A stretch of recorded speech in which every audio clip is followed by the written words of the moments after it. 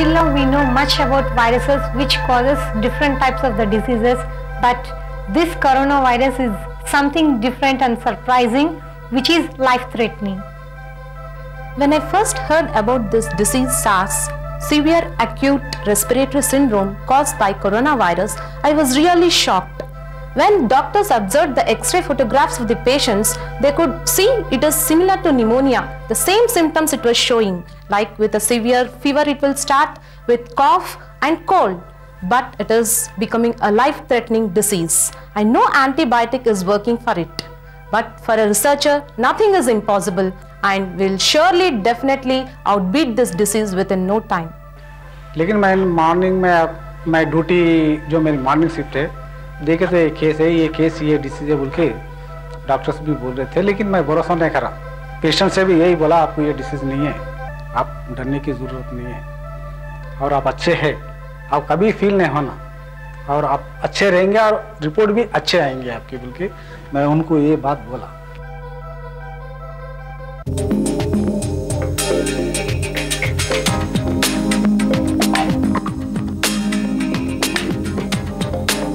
Viruses have challenged the human race several times, and some of the classic examples that we know are that of the smallpox, which has challenged mankind many times, and also the emergence of relatively mild virus like the influenza, which started emerging as a more virulent form and causing large number of deaths which occurred in the uh, early 19th centuries.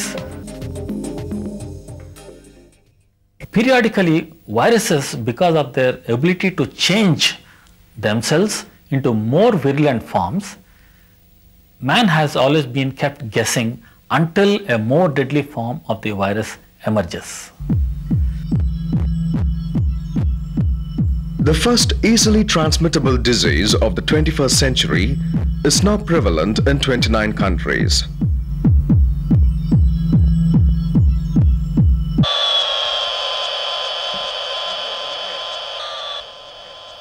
The Indian Civil Aviation and Port authorities have stepped up vigilance against the killer coronavirus by screening all international passengers.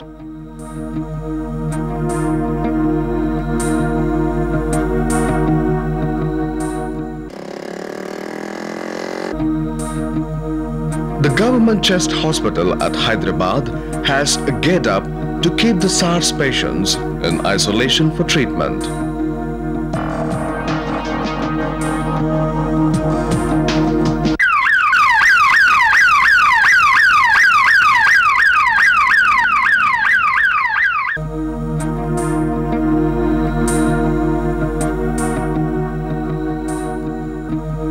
Second week of April 2003, one of the SARS suspect was admitted here. The patient in question is a businessman.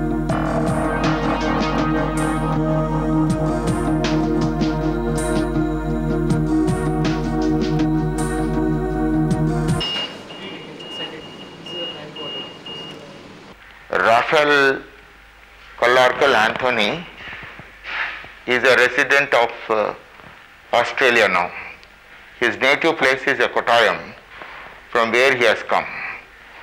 And uh, he has traveled, he is a businessman, he has traveled from uh, Australia to Hyderabad via Singapore.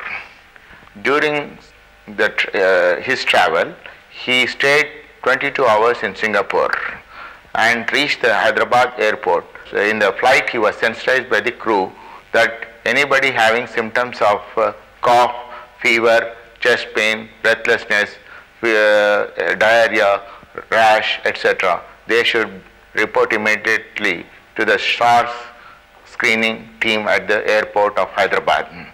Immediately, the uh, uh, RK Anthony has reported there and then got screened. He was shifted in ambulance to AP Government General and Chest Hospital for further evaluation.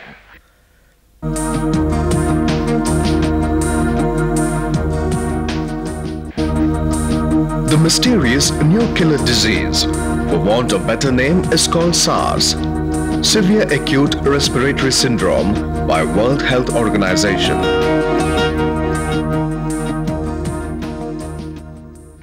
This disease is caused by a, virus called coronaviruses of paramyxoviruses. This virus produces severe acute manifestations of high-grade fever with chills and rigors, chest pain, breathlessness, uh, watering from the nose, and rash, diarrhea, sometimes confusion, and the patient may have breathlessness. These are usual manifestations of severe acute respiratory syndrome. Testing for SARS. In the first stage, samples of blood, urine and sputum of the suspect are collected. A cutting-edge technology is being used to detect SARS. The virus has certain unique stretches within a gene. This is used to detect its presence. Tags called primers mark the unique gene stretch in a viral RNA. The RNA, primers, certain enzymes and chemicals are placed into a PCR plate using the polymerase chain reaction, RT-PCR. The unique pieces are amplified sufficiently for detection. The amplified genetic material can be labeled with a dye and viewed under ultraviolet light. Viruses are submicroscopic particles which cannot be viewed under an ordinary microscope. They are composed of proteins and nucleic acids and in some cases lipids. They are about 100 times to about 1000 times smaller than that of even a small bacterium. Viruses infect almost all living organisms which includes microorganisms like bacteria, plants and animals. There are two properties which makes viruses very dangerous and very capable of spreading very rapidly in the environment are that they are not susceptible to any known antibiotics or drugs. The second property is their ability to rapidly multiply in the living systems in which they are able to multiply in several thousands and thousands per single cell gives them an ability to change their virulent characteristic features. It is reported that the epicenter of SARS is Guangdong province in China.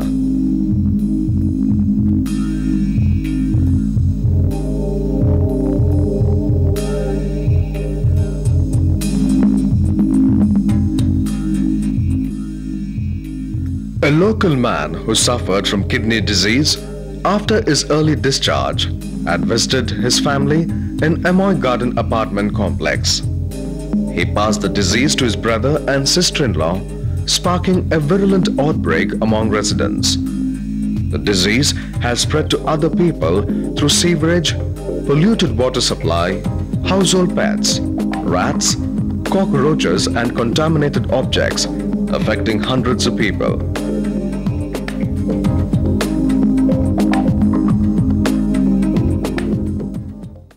Coronavirus, which is an RNA containing small virus which is relatively known to cause common cold, now has emerged as a killer virus.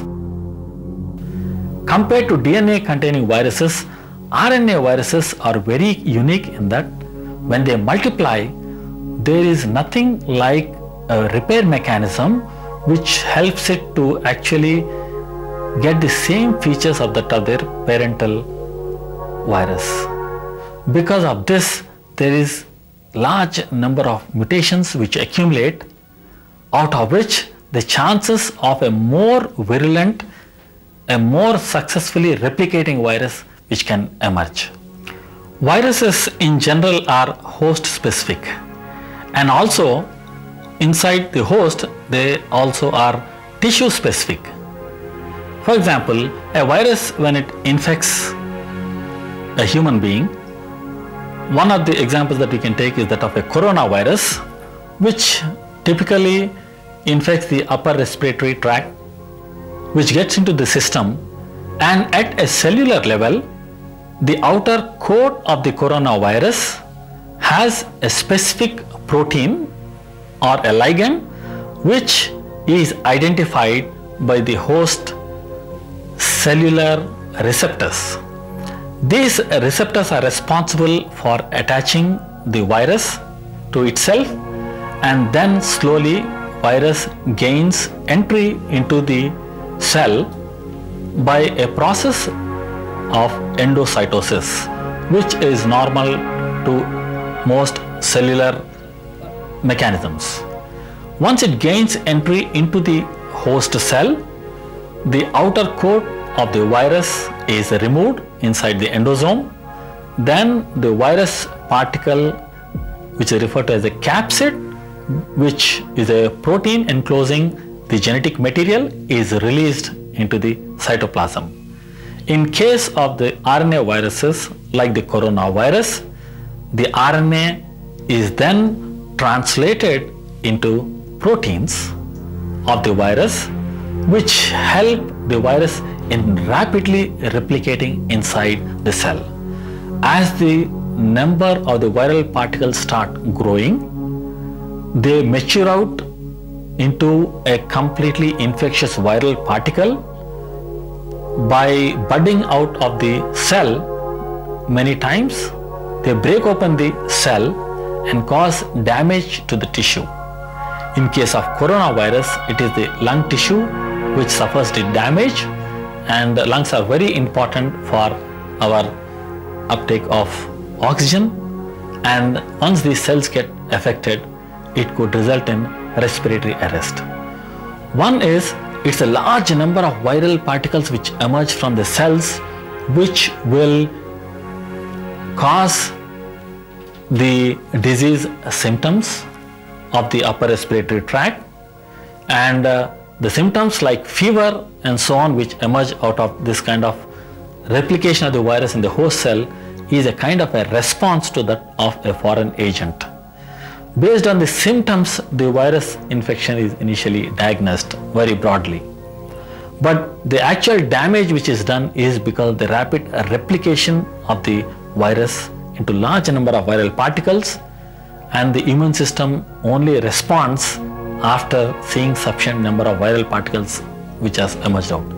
Ultimately, the survival of a human being depends upon his innate ability to combat this large number of viral particles with the help of his own immune system.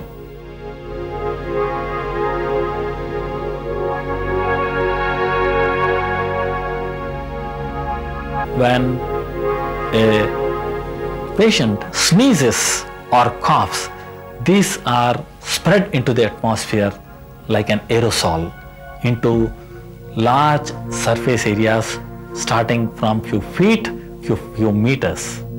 Once outside a living cell, the virus is not capable of independent living, but it remains alive for quite some time depending upon the virus. For example, coronavirus is, is capable of staying infectious almost to few hours when there is sufficient amount of moisture available. But under dry conditions, its infectivity is lost. But people are unable to understand how this virus with a relatively short half-life outside the living cell is able to infect large number of population. These studies still remain to be solved.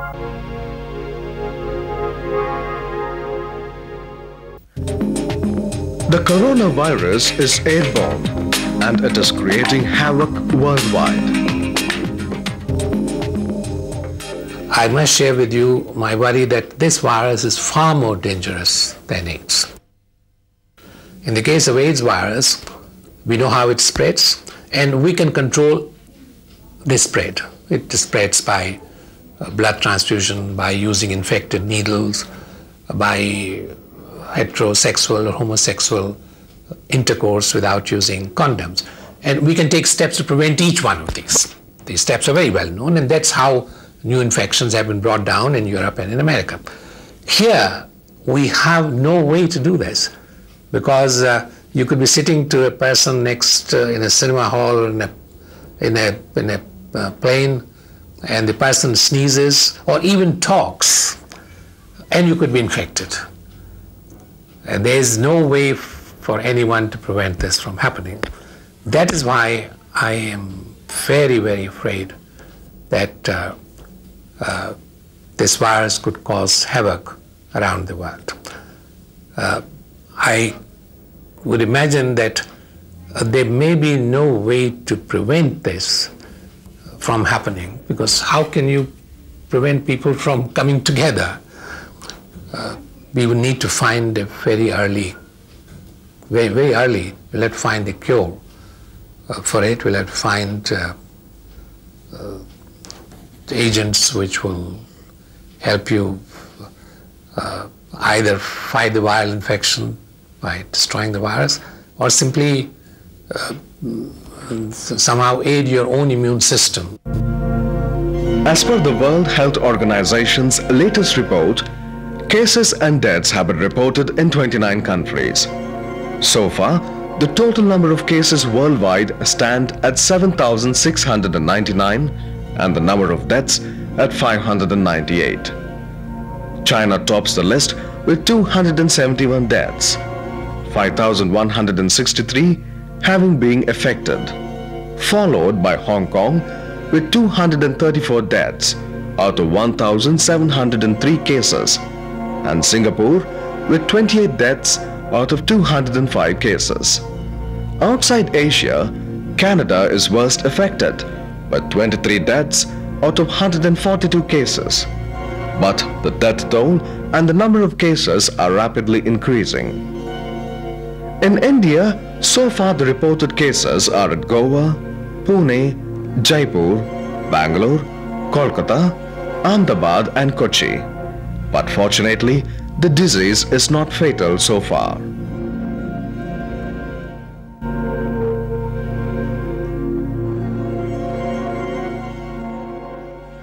In the meantime, the SARS suspect at Hyderabad received his medical reports.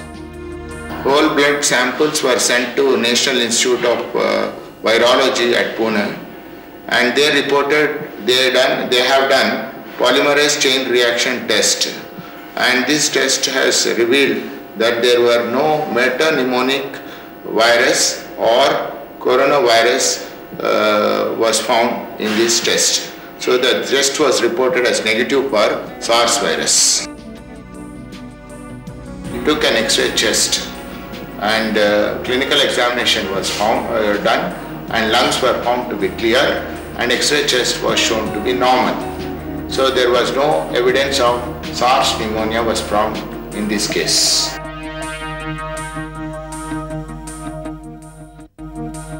Your report has come negative.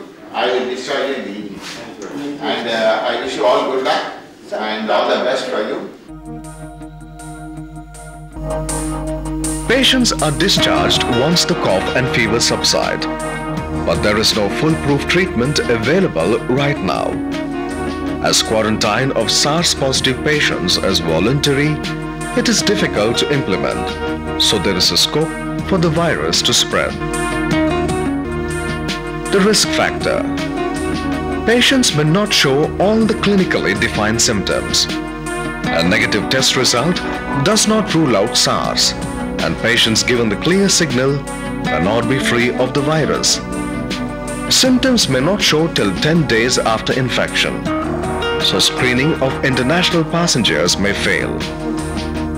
Cough droplets from a SARS victim could spread to many others in bus or train.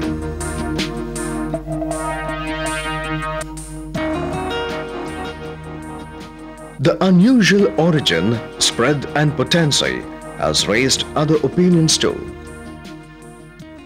From what has appeared in the newspapers, it seems that uh, the sequence of the genetic material of the virus contains sequences of uh, large sequences of, of two separate viruses, and that's why we call it a hybrid virus. And uh, such a hybrid virus, as I said earlier, is very unlikely to arise by itself in, in nature. I would say the probability is virtually zero. So there are viruses which we can say we definitely have arisen from the uh, genome or genetic material or, or DNA uh, of uh, animals, including human beings.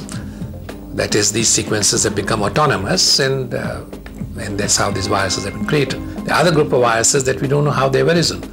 Uh, to that belongs, uh, as I said, HIV, the virus that causes AIDS, and I think the the virus that causes SARS would uh, also seem to belong uh, to that group in the sense that it is uh, there are no sequences which seem to be homologous to sequences found in human beings. But unlike HIV, uh, the origin of which we do not know, it certainly was not created in the laboratory because we know that the human virus perhaps came from the viruses, similar viruses found in, in lower animals. But in the case of SARS, uh, its structure is such that uh, it's extremely unlikely to have arisen in nature. And I would place a bet that uh, it uh, just came about in the laboratory. But the World Health Organization says it is not an act of biological warfare. The opinions may differ and may be debatable. Whatever may be the reasons of its origin, the need of the hour is its prevention. As the age-old saying, prevention is better than cure. If SARS is prevented from entering the country, fighting its spread would be that much easier.